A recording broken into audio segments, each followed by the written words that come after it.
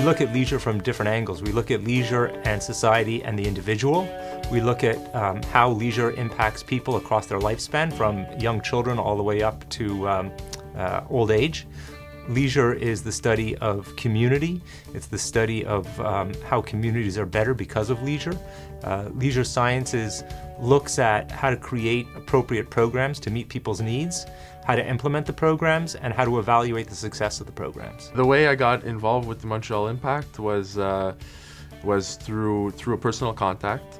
Uh, that, that got me in, and I thought uh, going into a program like Leisure Science would give me uh, a different a different look into what sports is, and I think in, in general what leisure and recreation is um, the impact it has on society today. My job as the manager in residence life is basically a combination of being a counselor, a mother, a disciplinarian, uh, a program planner. Um, so program planning is a big part of what I do and it's a huge piece of what I took away from my leisure science degree, how to plan a program, how to design it, how to evaluate it, um, and how to encourage people to participate in programs that are both creative and educational. I work with the kids. I um, get to know my residents very well. I, you know, I'll see them on vacation, I'll see them in the grocery store. So I think communicating and having a relationship with the residents of my community is one of the best parts of my job. I started before university at, at the Montreal Impact, and uh, and then just you know reinforcing uh, my studies really helped me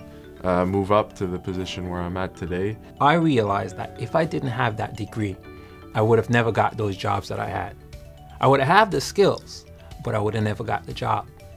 And that makes a big difference. The benefits of the specialization in leisure sciences are really the 240 hour internship that comes at the end of the program.